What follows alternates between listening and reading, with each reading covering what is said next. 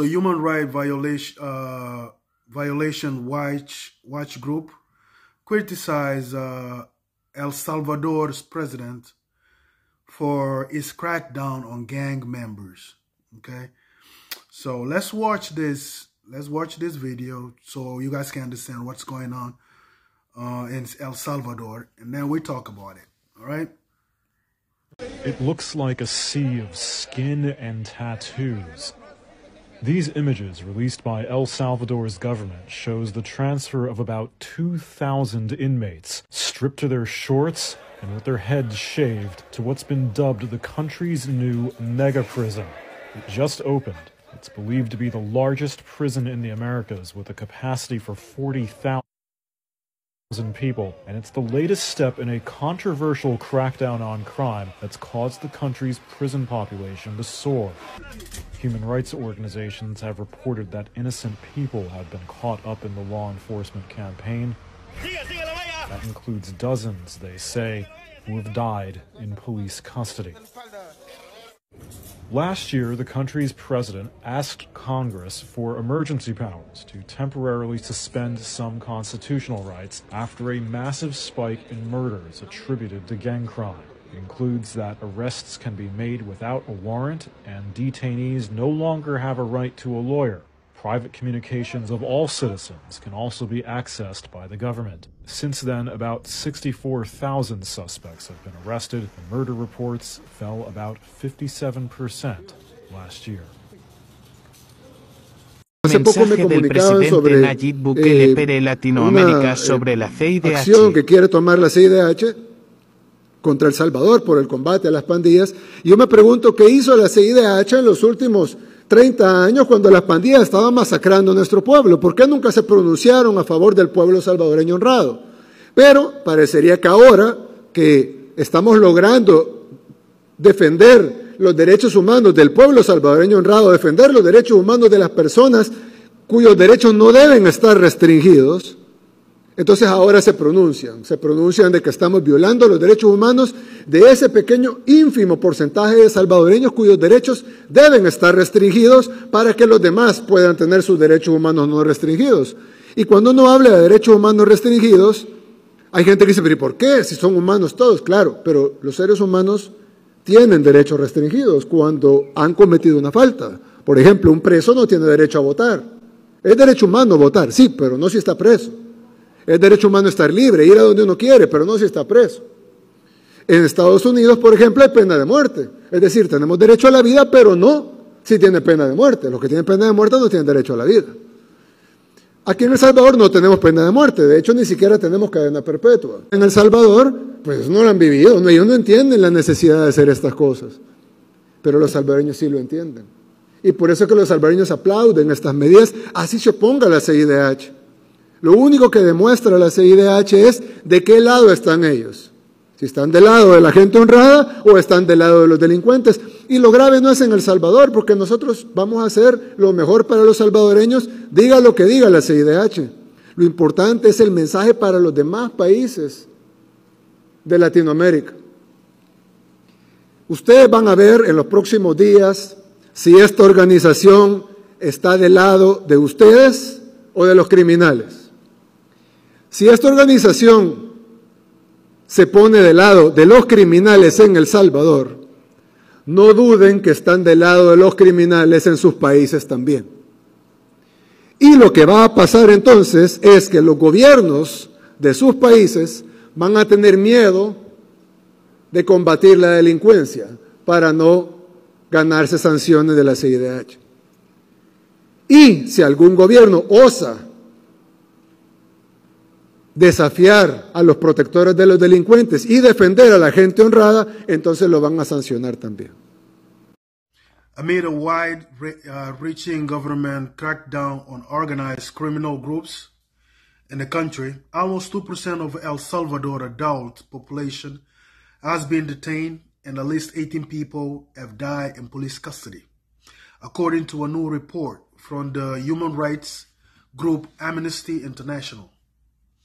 The crackdown, uh, as initiated by President Nayib Bukele in March, it's an aim a suspect member of MS-13, also known as Mara Salvatrucha, and Barrio 18, both of which uh, are street gangs and emerged in El Salvador following waves of mass deportation of Salvadoran immigrants from the United States in the 1980s and 1990s. In addition to reports of arbitrary detentions, torture, and inhuman conditions in now overcrowded prisons, the government has also reportedly uh, targeted journalists, activists, and even corrupt judges, amounting to what Amnesty International is describing as massive human rights violations. According to Amnesty International's report, El Salvador's government has made arrests um, without administrative or judicial arrest warrants and uh, without catching defendants in the act of committing a crime.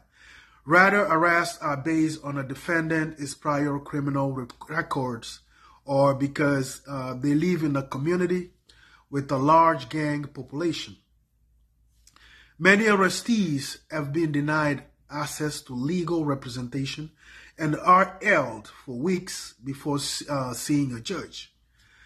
The U.S. government, uh, which has long played a role in El Salvador's organized crime problem, has remained relatively silent, uh, bearing one statement from Secretary of State Antony Blinken and one answer by Blinken to a question at a press conference in Panama City, in Panama, U.S. diplomatic institutions have largely responded with silence toward this report. In neither statement did Blinken acknowledge um, how these gangs come to, to hold such a sway in Salvador is instead uh, restating previous U.S. support of the Salvadorian government.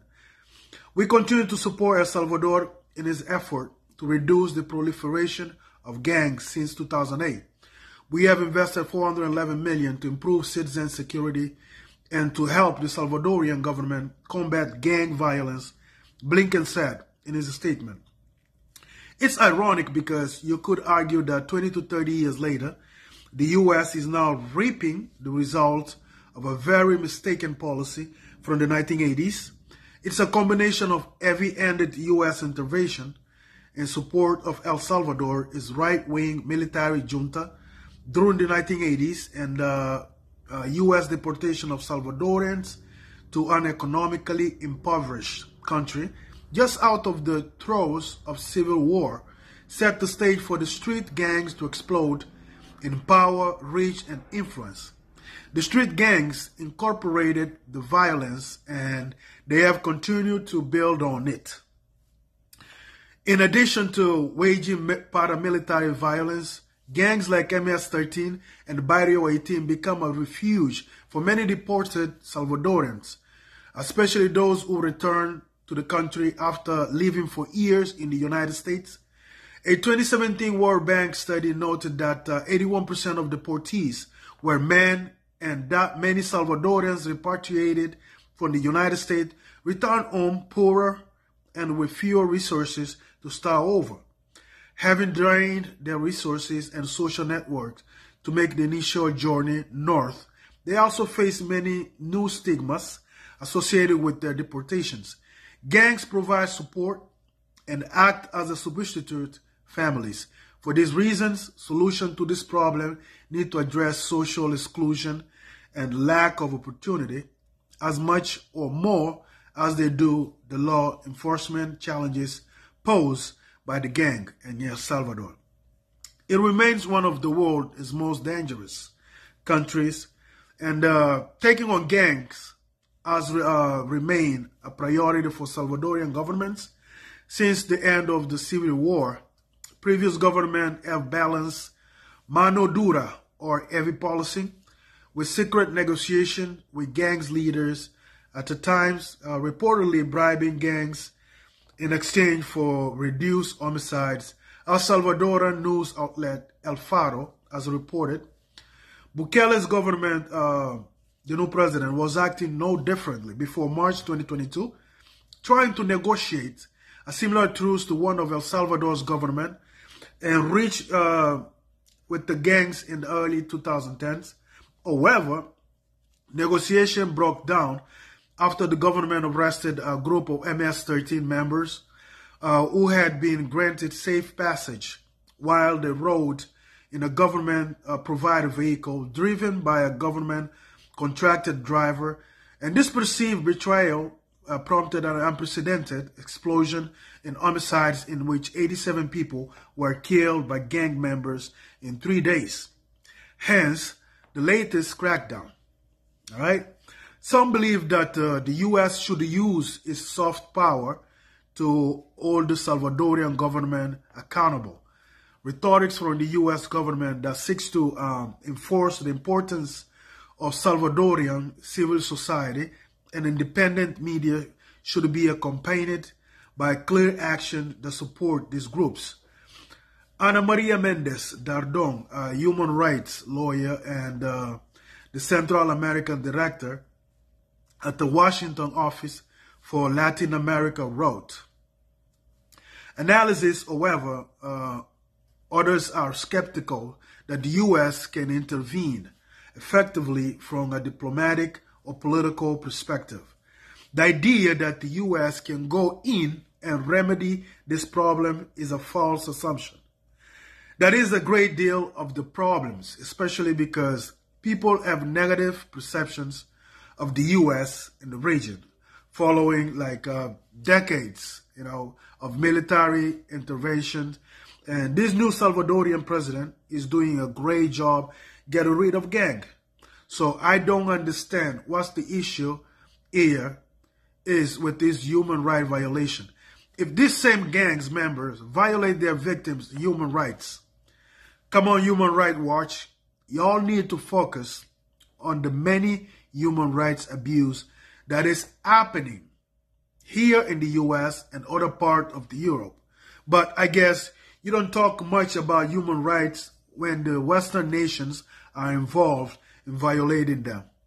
Be more fair and respectful to El Salvadorian government and let them take care of the cancer in their society. Every society deserves to have peace, and gangs don't bring peace. Let the Salvadorian president deal with them. This is Bob Sankarian. Do not forget to subscribe. Click the like button, and thanks for watching. Enjoy your day.